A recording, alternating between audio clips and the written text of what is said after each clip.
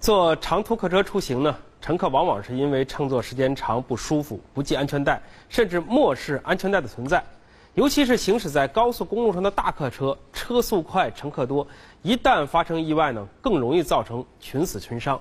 那么下面这段是由浙江交警提供的视频画面，将向我们证实：一旦发生事故的时候，安全带就是挽救我们生命的关键。这辆由上海开往浙江上虞的大客车正冒雨行驶在沪昆高速浙江嘉兴段。通过车内的摄像头，我们看到十几分钟内，大客车一连超了八辆小轿车，车速相当快。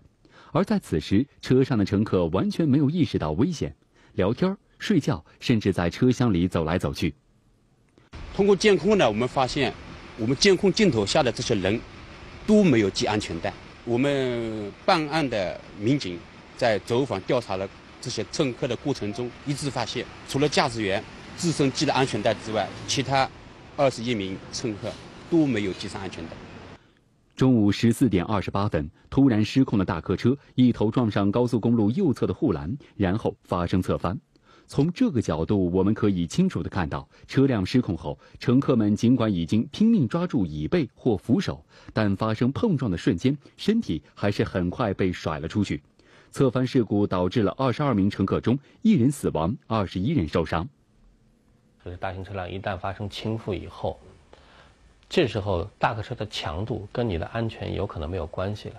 因为这时候你的身体是在这个客车车厢的空间里面在飘，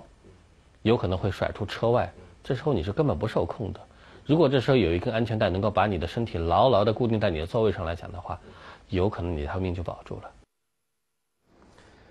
真实的案例加上专家的分析，都告诉我们乘车出行系安全带的重要性。那么在现实当中，乘坐长途大巴、旅游大巴的时候，乘客使用安全带的情况怎么样呢？来看记者的调查。